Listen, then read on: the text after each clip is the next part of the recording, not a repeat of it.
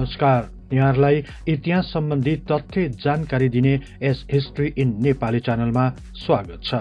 आधुनिक नेपालको इतिहासमा राजा पृथ्वी नारायण शाहपछि दरबारिया कलहहरू सतहमा देखा परे। यी कलहरको परिणामस्वरूप धेरै ठूल्ठूला घटनाहरू घट्न गए। निर्णय लिन नसक्ने फितलो र कमजोर शासकहरूका कारण नेपालले धेरै रहस्यमय घटनाहरू झेल्नु पर्यो। यसैको परिणामस्वरूप संयौं निर्दोषहरूले अनाहकमा ज्यान गुमाउनु पर्यो। यस्तै घटनाको विषयलाई आजको कार्यक्रममा प्रस्तुत गर्ने जमर्को गरेका छौं। मूल काजी रहेका एक शक्तिशाली व्यक्तित्वका धनी कीर्तिमान सिंह बस्नेतको एक दिन अचानक अज्ञात समूहबाट हत्या हुन गयो। वास्तवमा सो हत्या किन भयो र कसरी भयो? यसको साथै कीर्तिमान सिंह बस्नेत को हुन्? यसबारे आजको कार्यक्रममा चर्चा गर्नेछौ। विश्वास छ सदाझै यस कार्यक्रमलाई पनि उत्तिकै मन पराइदिनुहुनेछ। आउनुहोस् नेपाल तथा विश्व इतिहासको बारे तथ्य तथा प्रामाणिक जानकारी दिने उद्देश्यका साथ इतिहासका विद्यार्थीहरूद्वारा निर्मित यस कार्यक्रमलाई मन पराई लाइक सेयर र सब्सक्राइब गरिदिनु हुन अनुरोध गर्दै म कार्यक्रम प्रस्तोता सार्थक नेपाल यहाँहरूलाई हार्दिक स्वागत गर्दछु।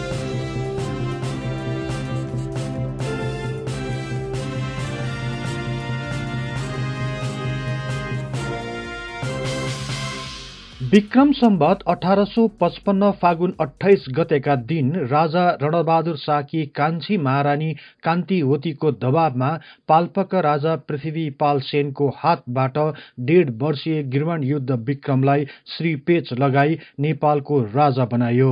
यसपछि रणबहादुर शाहले राजा गिरवण युद्ध विक्रम शाहको राज्य गर्ने उमेर नपुगेसम्म जेठी महारानी राज राजेश्वरी देवीलाई नायबी र सुवर्ण प्रभालाई सहायक बनेर राज्य सञ्चालन गर्ने अख्तियार दिए।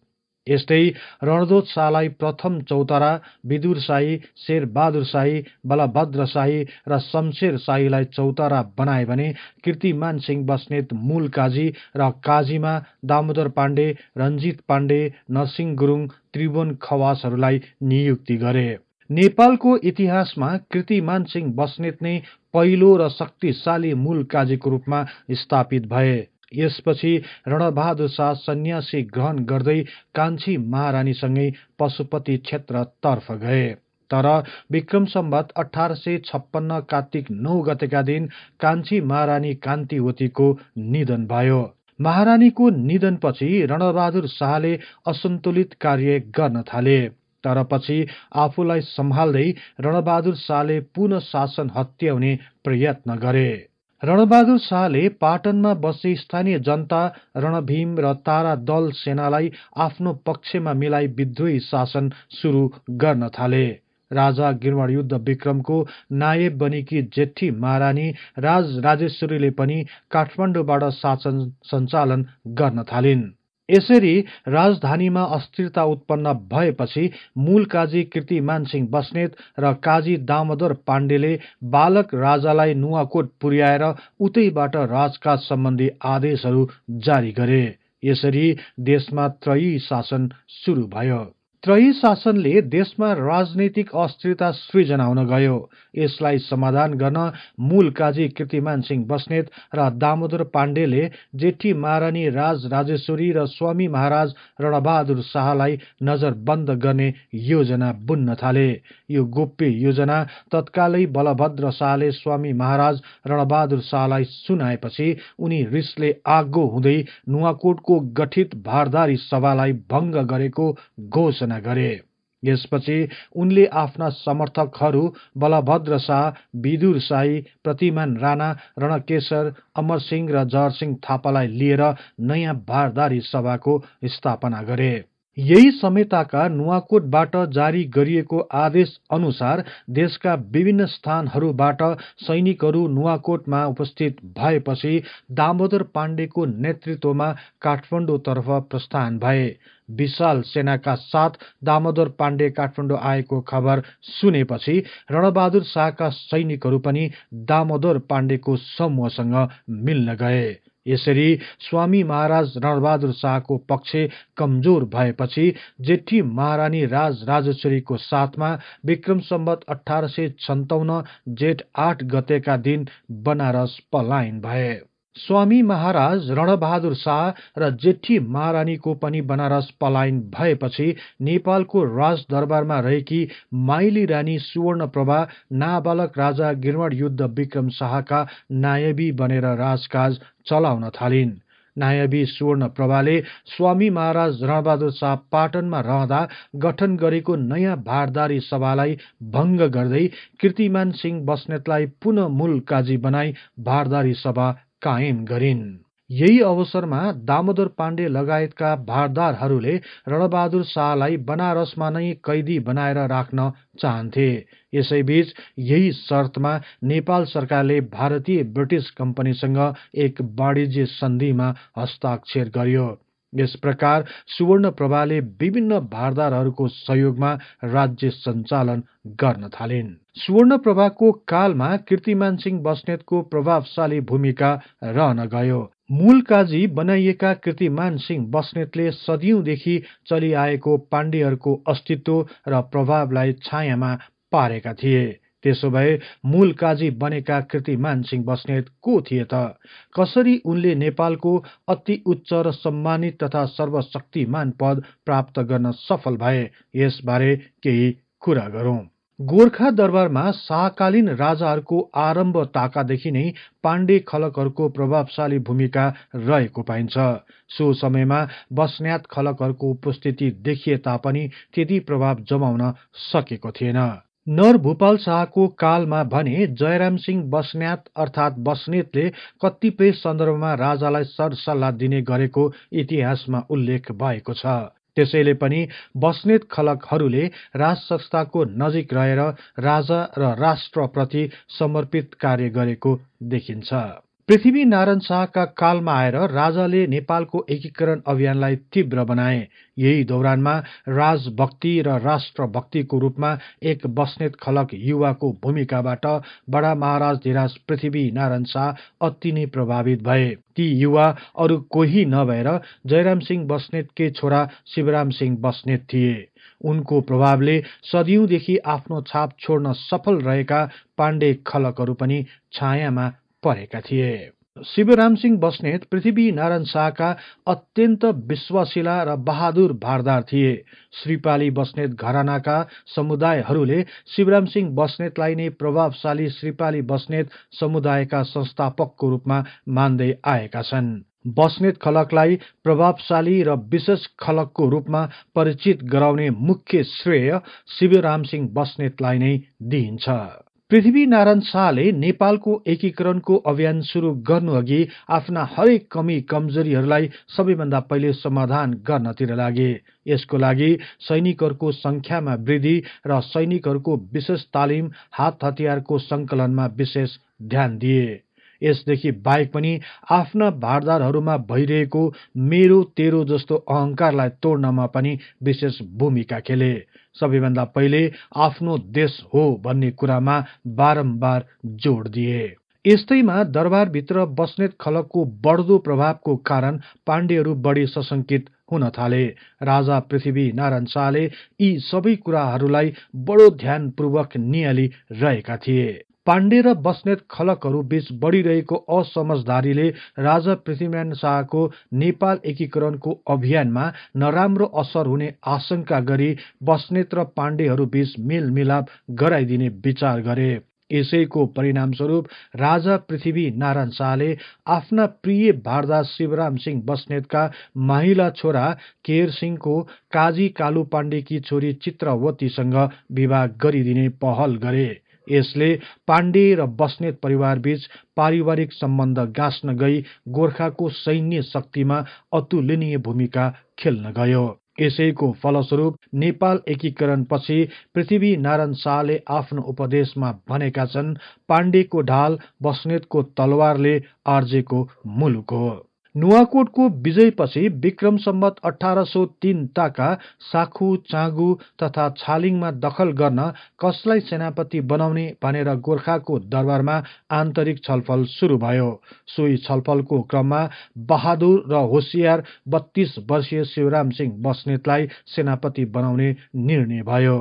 यसपछि शिवराम सिंह बस्नेतको नेतृत्वमा नौ सय गोर्खाली सैनिकहरू लिएर नालादुमको तल्लो भागमा रहेको सागा चोकतिर लागे। भक्तपुरको राजा रञ्जित मल्लले पनि गोर्खाली सेनालाई सहयोग गर्ने योजना अनुसार सेनापति शिवराम सिंह बस्नेतले केवल नौ सयको संख्यामा मात्र आफ्ना सैनिकहरू लिएर गएका थिए तर सो युद्धमा भक्तपुरे सैनिकहरूले धोका दिए। उनीहरू सहयोगको लागि आएनन्। गोर्खाली सेनाहरू सागा चोकमा पुगेर तयारी अवस्थामा बस्न नपाउँदै कान्तिपुर र ललितपुरका गरी करिब तीन हजारको फौजले राति साढे एघार बजेतिर अचानक आक्रमण गर्यो। यस भीषण आक्रमणमा गोर्खाली सेनाहरूले सम्हालिने मौकै पाएन। यसै बेला सेनापति शिवराम सिंह बस्नेतलाई झुक्काएर मारियो। आफ्ना सेनापतिको निधनबाट गोर्खाली सेनाहरू तित्तर बित्तर भए। आफ्ना होनहार सेनापतिको निधन भएकोमा पृथ्वी नारायण शाह साह्रै दुखित भए र केही समयको लागि युद्ध स्थगित गर्ने निर्णय गरे।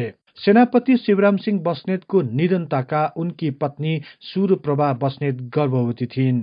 राजा पृथ्वी नारायण शाहले सुरप्रभालाई सान्त्वना दिँदै शिवराम सिंह बस्नेतका ना बालक छोराहरू नाहार सिंह बस्नेत केहर सिंह बस्नेत अभिमान सिंह बस्नेतको लालन पालन तथा शिक्षा दीक्षाको सम्पूर्ण व्यवस्थाको जिम्मा लिए।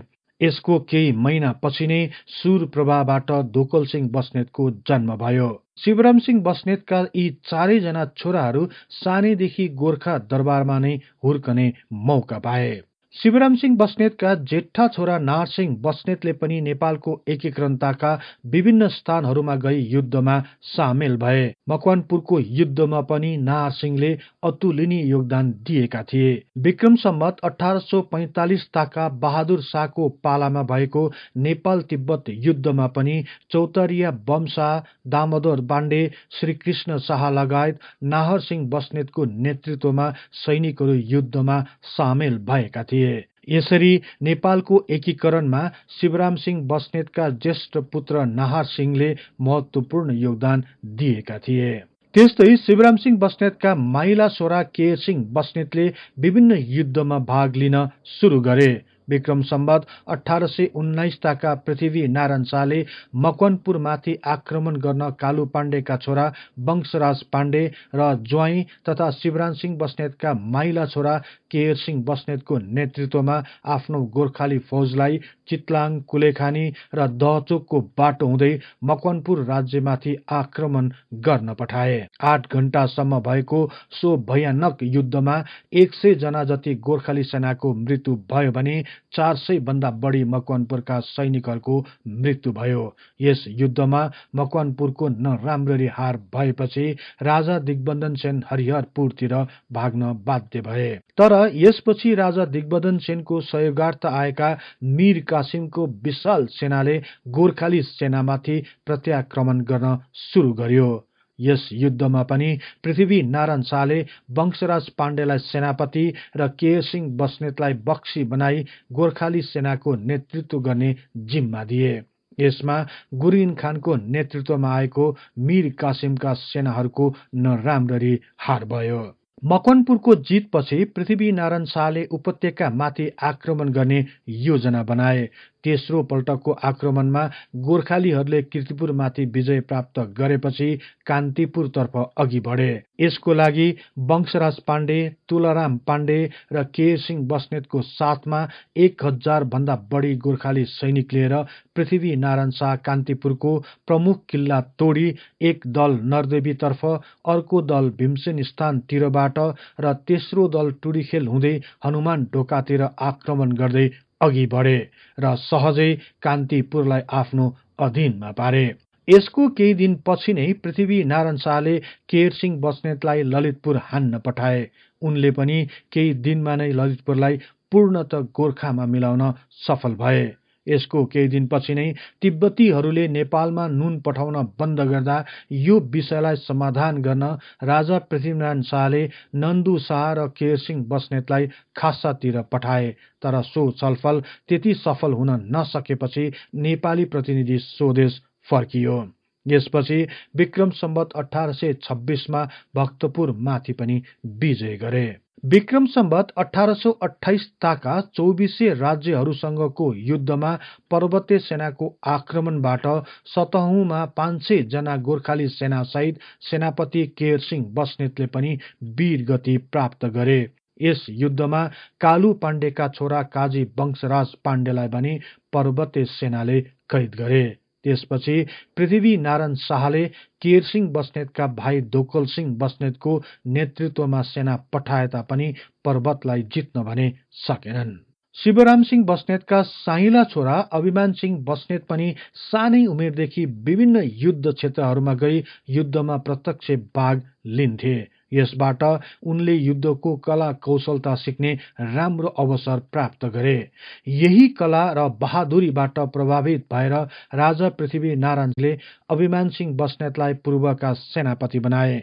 त्यसपछि पूर्वका राज्यहरूलाई एकीकरण गर्न पृथ्वी नारायण शाहले सेनापति अभिमान सिंह बस्नेत रामकृष्ण कुँवर अमरसिंह थापाको नेतृत्वमा गोर्खाली सेनाहरू पठाए। नभन्दै चौदण्डी र विजयपुर राज्यमाथि विजय प्राप्त गर्न सफल भए।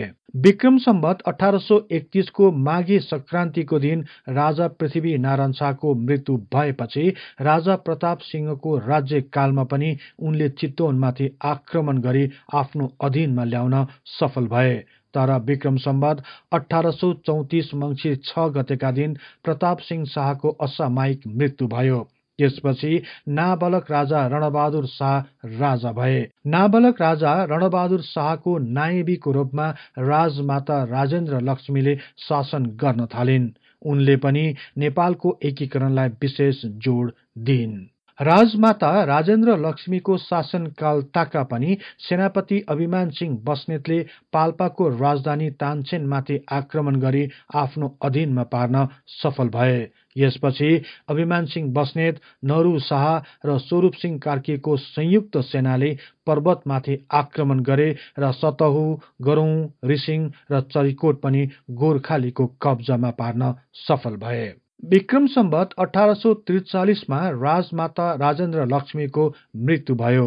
राजमाता राजेन्द्र लक्ष्मीको मृत्यु भएको एघारौं दिनमा चौतरिया दलजित शाह अभिमान सिंह बस्नेत र अन्य केही भारदारहरूले बहादुर शाहलाई कैद मुक्त गराए। त्यसपछि नाबालक राजा रणबहादुर शाहको नायबको रूपमा बहादुर शाहले राज्यको शासन चलाउन थाले। बहादुर शाहको पालामा पनि कर्णाली प्रदेशमा छरिएर रहेका बाइसे राज्यहरूमाथि दखल गर्न काजी दामोदर पाण्डे र अभिमान सिंह बस्नेतको नेतृत्वले महत्वपूर्ण भूमिका खेल्यो। यसको साथै अभिमान सिंह बस्नेतकी अगुवाईमा पूर्वको सिमाना टिस्टा नदीसम्म बनाउन सफल भए। विक्रम सम्बत अठार सौ अडचालिसमा एक सेनापतिको हैसियतले अभिमान सिंह बस्नेतले नेपाल तिब्बतको युद्धमा पनि भाग लिएका थिए। त्यो युद्धमा अभिमान सिंह बस्नेतले केरुङको बाटो हुँदै तिब्बतमाथि आक्रमण गरेका थिए। सो युद्धमा तिब्बतको नराम्ररी हार भयो। तर पछि चिनिया सैनिकहरूको कारण नेपालले बाध्य भएर बेत्रावती सन्धि गर्नु पर्यो। यही समयमा अभिमान सिंह बस्नेत काजी पदमा बहाली भए। अभिमान सिंह बस्नेत एक वफादार तथा बहादुर योद्धा मात्र नभएर एक राम्रा प्रशासक पनि थिए। उनले केवल युद्धबाट मात्र होइन कूटनीतिक तवरबाट पनि कैयन साना साना राज्यहरूलाई आफ्नो अधीनमा पार्न सफल भए। तर विक्रम सम्बत अठार सय सन्ताउन्नताका छप्पन्न वर्षका अभिमान सिंह बस्नेतको मोरङ स्थित काला बन्जार क्षेत्रमा औलो ज्वरोको कारण मृत्यु भयो। यस प्रकार नेपालले एक होनहार र अनुभवी काजी तथा सेनापतिलाई गुमाउनु पर्यो। सेनापति शिवराम सिंह बस्नेतका कान्छा छोरा दोकल सिंह बस्नेत पनि नेपालको एकीकरण अभियानमा आफ्ना दाजु अभिमान सिंह बस्नेतसँगै पूर्वमा तिष्टादेखि पश्चिममा दाङसम्म अनवरोध रूपमा खटिरहे। विक्रम सम्बत अठार सौ अडचालिसमा भएको नेपाल चीन युद्ध ताका पनि आफ्ना दाजु अभिमान सिंह बस्नेतसँगै कार्यरत थिए। बहादुर शाहको पालामा धौकल सिंह बस्नेत देवान अथवा प्रशासकीय अधिकृतको रूपमा आफ्नो कार्य सुरु गरे। तर पछि विक्रम सम्बत अठार सौ अडचालिसमा भएको नेपाल चीन युद्धपछि एक प्रशासकीय प्रमुख अर्थात काजीमा पदोन्नति भए।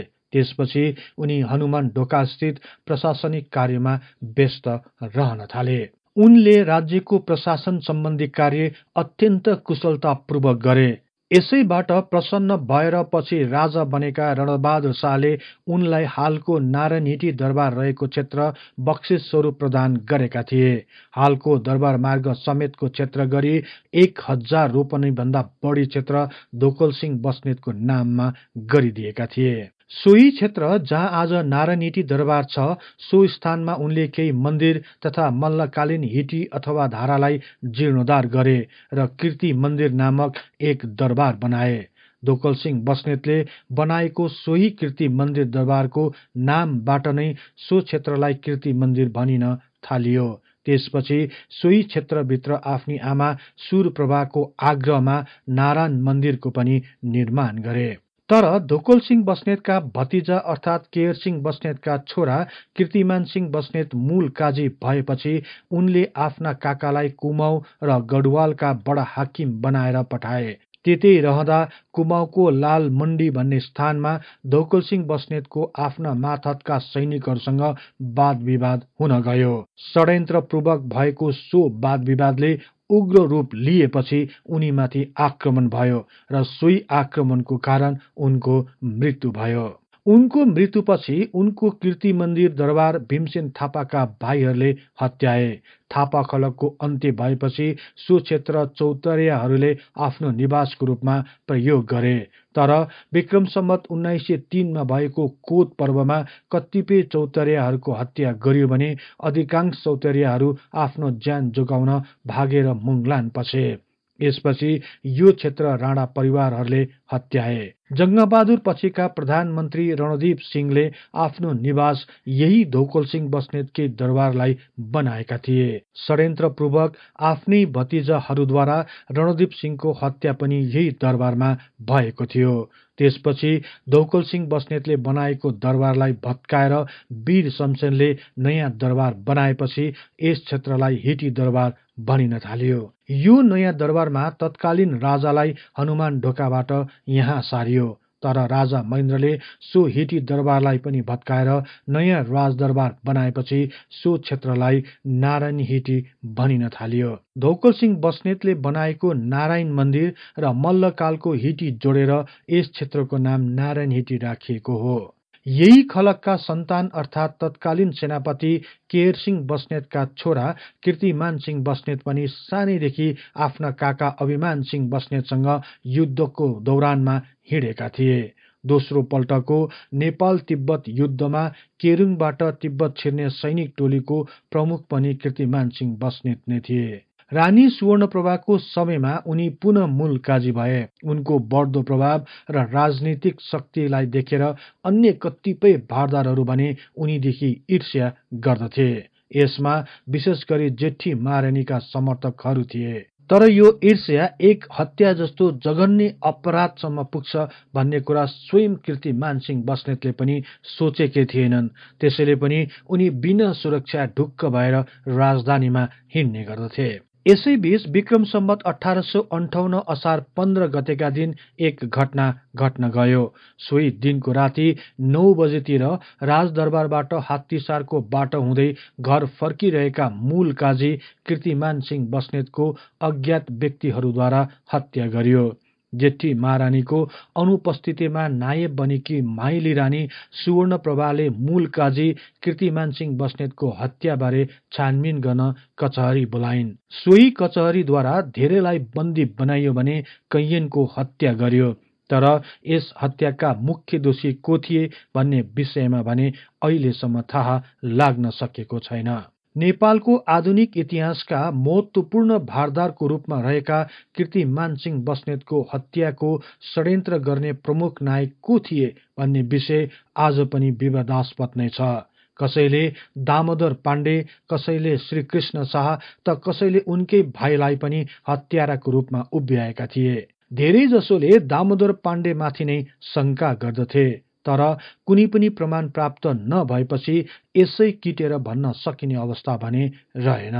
विभिन्न इतिहासकारहरूले भिन्न भिन्न तर्कहरू दिए तापनि हत्याको मुख्य दोषी को थिए भन्ने सन्दर्भमा भने इतिहास मौन रहेको छ। कतिपय इतिहासकारहरूका अनुसार मूल काजी कृतिमान सिंह बस्नेतलाई बदनाम गर्नको लागि कृतिमान सिंह बस्नेतको रानी सुवर्ण प्रभासँग अनैतिक सम्बन्ध रहेको हल्ला फैलाएका थिए। यही हल्ला फैलाउने कार्यको प्रमुख दोषी रहेको भन्दै प्रतिमान राणा गर्बु खवास र इन्द्रसिंह खवास सहित सातजना अन्यलाई पनि मृत्युदण्ड दिइयो भने देवदत्त थापाको आँखा झिकियो। काजी दामोदर पाण्डेलाई पनि हत्यामा संलग्न भएको आशंका गरियो तर उनी शान्त भएर निर्वाध रूपमा राजधानीमा नै बसेकालाई उनलाई गिरफ्तार नगरिए तापनि उनको काजी पद भने खोसियो। यस घटनामा विदुर शाही श्रीकृष्ण शाह र रञ्जित पाण्डेले भने भागेर ज्यान बचाए। यसरी मूल काजी कृतिमान सिंह बस्नेतको हत्या भएपछि रानी सुवर्ण प्रभाले उनकै भाइ अर्थात् केयर सिंहको दोस्रो छोरा बख्तवर सिंह बस्नेतलाई मूल काजीमा नियुक्ति गरिन्। यही हत्याकाण्डपछि भारदारहरूबीच शंका षड्यन्त्र र भयावहको वातावरण सृजना भई पाण्डे र बस्नेत परिवारबीच वैमनस्यता बढ्दै गयो। बडा महाराज धिराज पृथ्वी नारायण शाहले मिलाएको यो परिवारको पारिवारिक वातावरणमा पुनः खलल पुग्न गयो र नेपालको राजनीति बिस्तारै अस्थिरतातर्फ बढ्न गयो। अन्तत कोद पर्व जस्तो सबैभन्दा विवादास्पद तथा नेपाली इतिहासको एक कालो घटना घट्न गयो। यो घटनापछि जङ्गबहादुर राणाको उदय भयो। यसपछि राणा परिवारको दबदबा बढ्दै गयो र बस्नेत खलकहरू पनि बिस्तारै नेपाली राजनीतिको प्रमुख भूमिकाबाट टाढा हुँदै गए।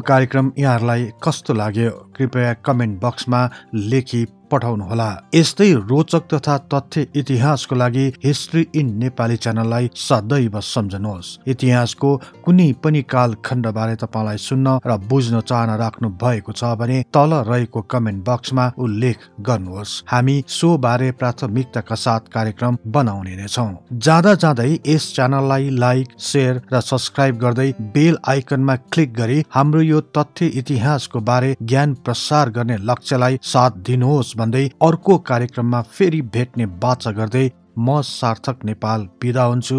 हवस् त नमस्कार।